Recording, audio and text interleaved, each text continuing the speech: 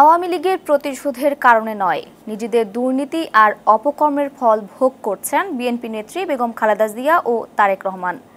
জেলা পরিষদের নতুন নির্বাচিত চেয়ারম্যান ও সদস্যদের শপথ অনুষ্ঠানে একথা বলেন প্রধানমন্ত্রী শেখ হাসিনা। সকালে রাজধানীর বঙ্গবন্ধু আন্তর্জাতিক সম্মেলন কেন্দ্রে এই আয়োজন করা হয়। সেখানে প্রধানমন্ত্রী আরও বলেন, বিএনপির চরিত্রই অপপ্রচার চালানো।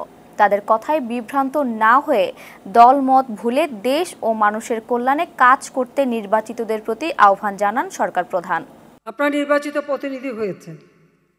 ভোগ দখলের জন্য না, জনগণের সেবা দেওয়ার জন্য। আপনারা যদি চান যে জনগণের সেবা দিয়ে মন জয় করতে পারেন, আর যদি চান জনগণের সম্পদ লুট করে চিরদিনের জন্য বিদায় নিতে পারেন, এটা হলো বাস্তবতা। চাল বলেন, গম বলেন ভোজ্য তেল, জ্বালানি তেল, গ্যাস সব কিছুর দাম এমনভাবে বেড়ে গেছে।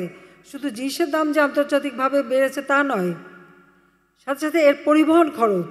দুশো ডলারের যে গম কিনতাম সেটা এখন পাঁচশো ডলারে কিনতে হয়। কিন্তু আমরা তো আমাদের দেশের মানুষকে কষ্ট দিতে পারি না। যেখানে যত দামি লাগুক, আমরা কিন্তু কিনে নিয়ে আসছি। এখানে আমি টাকা নিয়ে বসে থাকলে তো হবে না। আমার দেশের মানুষের জন্য খরচ করতে হবে। কিন্তু আজকে যারা এটা নিয়ে কথা বলে যে রিজার্ভ গেল কোথায়, তাদের জন্য একটু বলতে চাই। বিএনপির নেতা তারেক জিয়া, তার সাজা হয়েছে কেন? কারণ সে অর্থ পাচার মামলায় সাজা এবং জিয়া অরফানেজ ট্রাস্ট নামে ট্রাস্ট করে সেখান থেকে ফান্ড পেয়েছে, বিদেশ থেকে টাকা এসেছে। একটা টাকাও কোনো এতিমও পায়নি, কেউ পায়নি, সব তার ব্যাংকে জমা। তার, সেই কারণে তার বিরুদ্ধে মামলা, আর সেই মামলায় সে সাজাপ্রাপ্ত। আমরা কিন্তু মানুষের উপর প্রতিশোধ নিতে যায়নি। দু হাজার একুশ একের নির্বাচনের পর যেভাবে আমাদের নেতাকর্মীরা নির্যাতিত হয়েছে, আওয়ামী লীগ ক্ষমতা আসার পরে কিন্তু ওভাবে নির্যাতন কখনো কার উপরেই আমরা করি নাই।